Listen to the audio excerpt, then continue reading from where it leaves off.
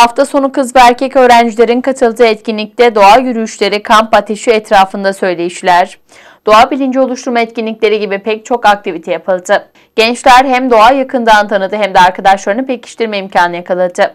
Belediye Başkanı Özkan Çetinkaya, gençlerimizin doğayla iç içe vakit geçirdiği, dostluklarını güçlendirdiği bu kampları önümüzdeki yıllarda da sürdürmeyi hedefliyoruz dedi.